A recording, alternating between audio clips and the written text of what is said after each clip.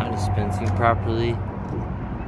Nozzle needs to be replaced as well as the filter assembly is leaking.